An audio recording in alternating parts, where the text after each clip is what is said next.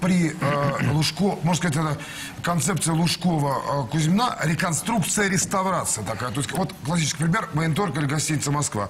До основания, а затем Ну, э, воссоздается то, что, как бы то, что там было. То есть такой новодел. Ну, ну Давайте что, так, ну гостиница подождите, Москва. ну подождите, ну вы все в одну кучу валите. Почему куча? Это то, Потому что вы что, видите. ну потому что, потому что а, Лужков самодур. Лужков человек, который ничего не разбирается в искусстве.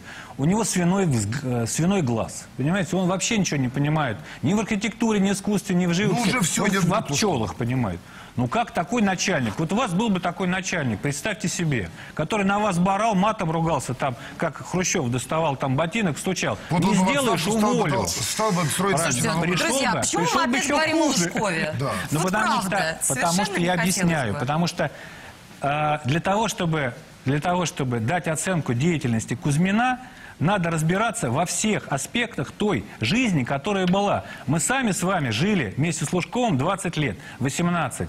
Мы очень многие вещи делали в городе, да, в меру своего понимания того, что надо делать. Да? Кто-то абсолютно остался чистым и незапятнанным, кто-то запятнался и так далее. Надо, если хотите во всем разбираться, не все надо вешать на Кузьмина. Не будем. Не надо, а то он просто как козел Мы- отпущения. мы поняли, другое дело, да, другое дело, что, а, может быть, надо было сразу уйти, может быть, да, там, год назад, да, И чтобы, двери, потому да. что, потому что он последний, и на него, конечно, все шишки.